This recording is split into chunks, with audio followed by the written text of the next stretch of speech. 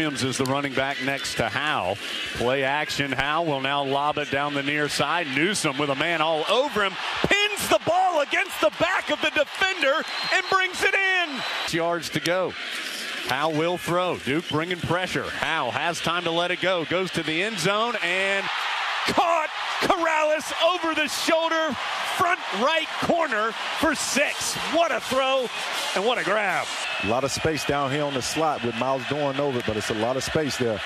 Harris looking to throw. He has absolutely no chance.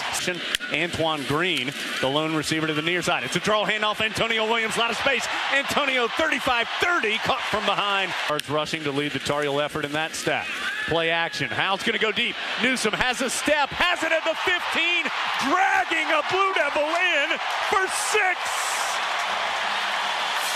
Out back, spot down. Ruggles' kick is up, and it is good. All in the shotgun. Javonte Williams to his right. He will give it to Williams. Williams pass free. Williams at the 20, step through a tackle near sideline, 35-30. Williams stiff arm at the 40, finally pushed out of Snap is a little high, but put down. Ruggles' kick is up, and it is right. Negative yardage play. They will not. How to throw.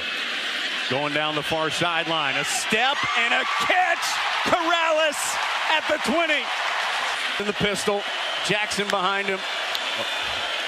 Hands off to Jackson. He tried to jump pass, and it's intercepted.